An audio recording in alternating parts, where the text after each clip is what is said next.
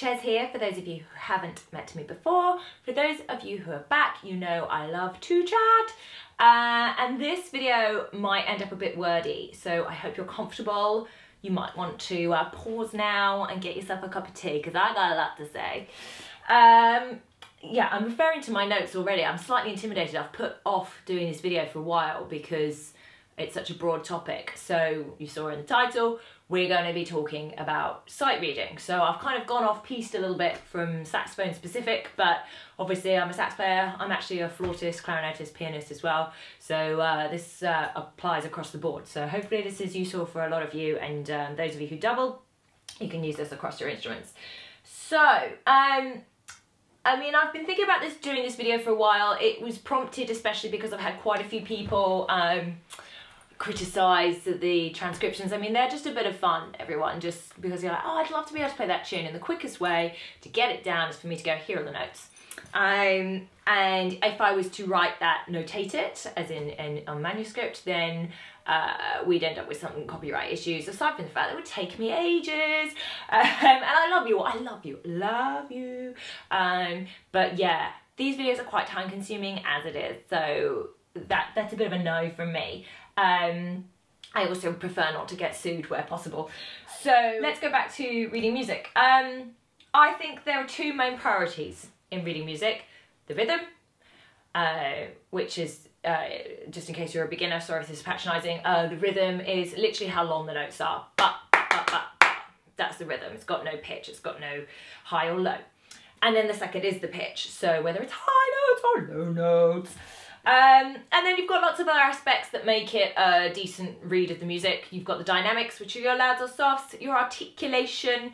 Um, let's go back to how you remember those actually. Uh, dynamics, if someone's a very dynamic character, they've kind of got lots of colours to them. And I think of um, dynamics, your louds and softs, as bringing colour to the music, bringing light and shade. Um, and the next one, articulation. If someone's a very articulate person, they pronounce everything, which apparently I don't. I'm told I speak far too fast for those of you who don't uh, speak English as your first language. So apologies for that. Uh, I'm just incredibly busy. I'm always on the go. I'm gigging at least five nights a week. So um, I just try and squeeze these videos in where I can. So I'll try and slow down. Um, but I'm not very articulate. Articulation is um, how the notes are pronounced. So whether you staccato them and make them really short, da, da, da, or whether you play them quite legato but with a tongue, ta ta ta ta ta.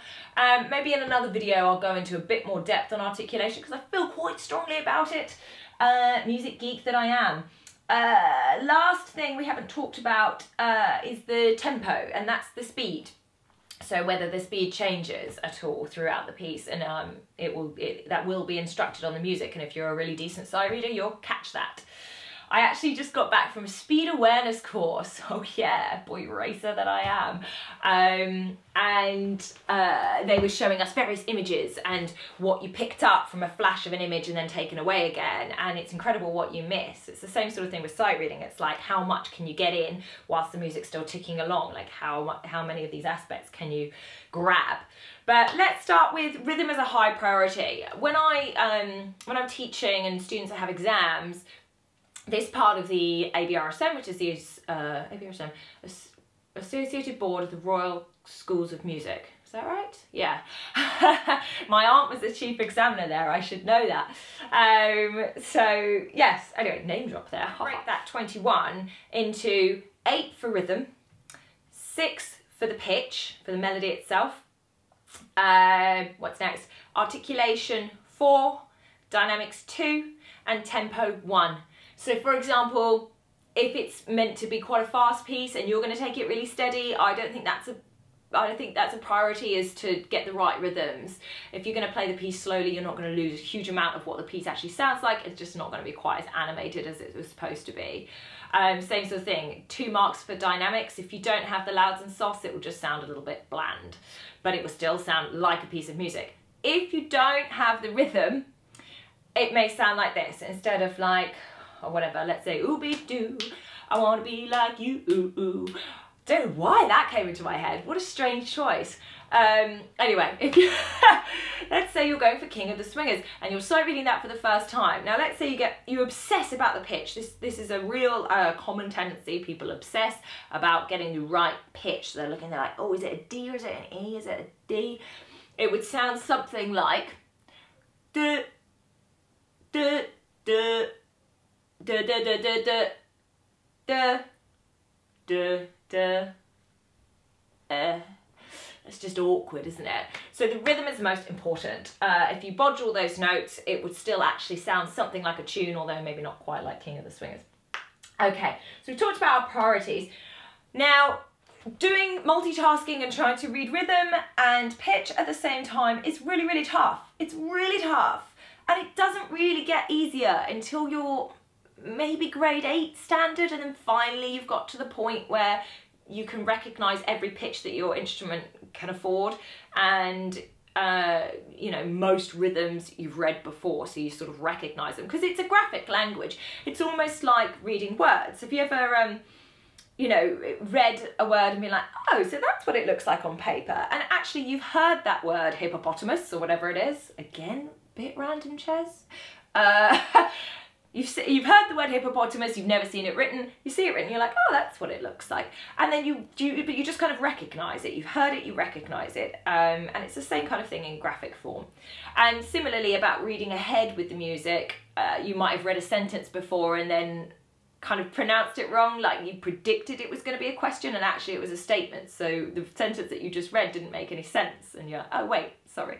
And it's because you predict what's going to happen a little bit and that does actually happen musically. So let's take those two zones. Um, we've got rhythm and we've got melody or pitch um, and separate them so you can work on them individually. So first of all, rhythm's a bit more fun, I think. Um, let's go with rhythm. So I've got a couple of things that will help you think more about the rhythm. Uh, first of all, some stuff to buy. We're just like clicking on a button and feeling like it's going to make everything better. Like I will buy that and it will make me better. But there, there are a couple of things out there that I would really recommend. One I've mentioned in my beginner videos before. There's a, a whole series by this uh, lovely chap called Paul Harris, um, who I've chatted to a few times. He's actually a clarinetist, um, but he does these series for, for sax and um, for flute as well. He's one of the top clarinet teachers in the country. He's just in, he's just incredible and just such a lovely chap. Uh, his books, I hope he doesn't ever watch this, his books are intensely dull. Uh, sorry, they're not going to be much fun, but they are going to teach you a lot. And um, he really, really focuses on rhythm, so I would recommend his books. They're called Improve Your Sight Reading, and uh, they're cheap, and uh, he does grade one to three, and then four to five, and then I think six to eight. Um, so they're in chunks as well. Uh, now, the other one I would recommend, there's an app uh, called Read Rhythm. I'll put all the links to these obviously in the description box.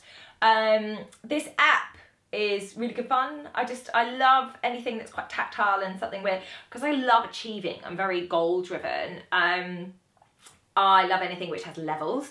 So obviously this app is great for that because it's, it's a tapping app basically. It's not actually very user friendly. So I might possibly do a review on that, watch this space. Um, if I do, I'll then put the link to it in the description box. Um, but yeah, uh, this Read Rhythm app, it's really, really great. Uh, not the easiest thing to use. but uh, yeah, it's basically just focusing on how long each of these beats are. I recommend a couple of books for pitch. So um, if you're a beginner, I would recommend there's one called Jazzy Duets. Um, anything you basically want anything where you're forced to carry on reading. Uh, jazzy duets, they're just quite simple, they're repetitive. Sorry, it's by a chap called James Rae. Again, really, really nice guy. God, has he written a lot of music. Wow, he's like the Mozart of the sax world. Um, yeah, blooming nice chap. He's got a lot to say about teaching and I like him a lot. So I'm going to recommend his book, Jazzy Duets. There's easy jazzy duets and there's jazzy duets. So those two are good for you guys, you beginners, and you can try it with your teacher. Uh, if you are trying to learn without a teacher, which is very difficult in the beginning stages, I would say for a start, but fair enough, good for you if you're very self-motivated. If you're trying to learn without a teacher, I would recommend you get one that comes along with a CD. Um, the only two that I use duet-wise are um, more advanced actually. So for you more advanced players, I would recommend Big Phat Jazz Duets um, book. And fat is with a PH, which I'm very fond of. I think that is cool.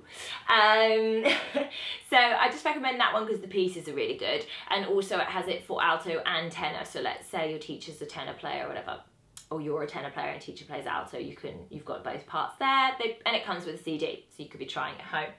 Um, this one is really, really great. It's just called Jazz Duets. Again, I'll put a link in the description box. But it's by these two chaps, Bruce, oh, I don't, I know if I can pronounce this, uh, Bruce Eskovitz and Ernie Watts. And um, when you click on the link, you'll see, you'll see why I'm laughing. They both look a little bit creepy. Like, I wouldn't want them to teach me. They both look a little bit creepy look like they've never quite been married, for example, maybe never had a girlfriend. Uh, sorry guys, I'm sure you're great. Great sash bears. Uh, but the reason I particularly like this book is um, it will look at certain rhythms and break them down for you to look at individually and do some clapping exercises with before you uh, put them in context and put them in a piece. So that is actually a brilliant book. Um, I just pop back to what I said at the beginning about, oh, I joined lots of bands and suddenly got good at sight reading uh, it's because you're forced to. You have to sort of guess a lot of the time because that band ain't going to stop for you. If you're with 20 other people, they ain't going to stop for you. Uh, and the same sort of principle with these duets. It's a, a slightly sympathetic teacher, perhaps going quite slowly, but helping you push along. And, and make that guess, like reading words. You start off with reading with a finger and then you take your finger away and you do just kind of guess what's coming up in the sentence, whether right or wrong. Um, so moving on with that principle, the other series that I would hugely recommend is this series called Guest Spot. Um, you get them on Amazon, again, link in the description box. Guest Spot, um, they basically put backing tracks to a bunch of tunes. So you could choose what works for you. There's one for ABBA, there's one for Adele, uh, there's one for just show tunes, there's one for classical tunes, there's one for jazz tunes, and just have a little look at the um, whatever they call them, like title tracks, the tracks that are on it, um, have a scooch through. And then when you're having a quick go at it, you want to start straight away with CD. Give it a shot. It Probably most of them are intermediate E. I tend to recommend this book to my players who are about grade three or four, so definitely been playing for a couple of years.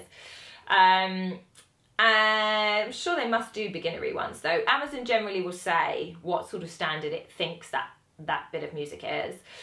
Uh, so yes, so you just want to get in there straight away, get the CD on and try your best to scooch around and play that tune. Now the idea behind this one is hopefully you know the tune, so you're not actually reading the rhythm at all because you know what it sounds like. But unless you've got incredible understanding of scales and harmony and have done all my ear training exercises and can play it by pitch, uh, by ear rather, you need to be reading those pitches. So it eliminates the rhythm side of things. So hopefully combining your lovely Read Rhythms app along with something like your guest spot with these backing tracks and forcing yourself to read along, you're separating those two really tricky items. Um, I think I'm going to call it a day there and I'm going to do a follow-up video to this another day because I'm just sort of looking at the time and thinking, wow, I have talked at you, at you. I'm so sorry if that was dull. Um, but I have got more to say. God, I've got more to say. I love sight reading. Such a music geek. Um, me, me, pick me. I'm like that kid in the front of the class that's just like overly keen. Um, I've got more to say on reading rhythm and reading pitch, but I think I'll save it for another occasion. So uh, keep your eye on this and I will follow it up with another one. But for now, well done for making it to the end. Peace and love. I think you're all great and I'll see you in the next video. You might want to follow me on Twitter and Instagram meanwhile. And sorry I went quiet on you by the way. I think I had a kind of about a week where I didn't really do anything. My boiler broke. How awful. It was awful. I had to have a cold, well, I had several cold showers and it was just an awful, terrible experience and it ruined my life for several days. Um, so sorry I went quiet on you. I'm back. See you next time. Bye.